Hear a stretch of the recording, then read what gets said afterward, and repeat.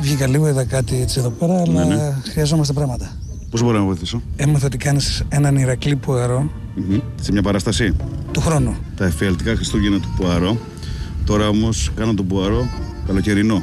Μάλιστα. Εδώ στη Λευκάδα. Εφιαλτικές διακοπές στο τρίγωνο με τις Βερμούδες. Γι' αυτό με φώναξες.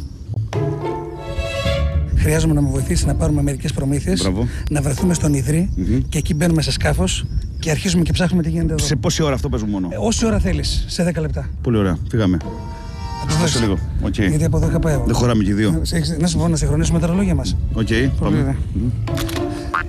Εντάξει. Φύγαμε.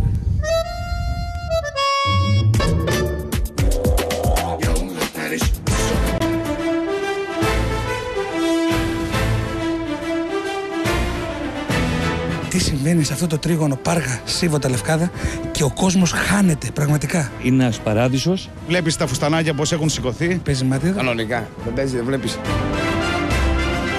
Δεν περίμενα να δω τον Χρήστο και τον Γρηγόρη εδώ. Είσαι παιχταράς όμως, ε. Α, ναι, ένα μυστικό. Θα τα καταστρέψει όλα.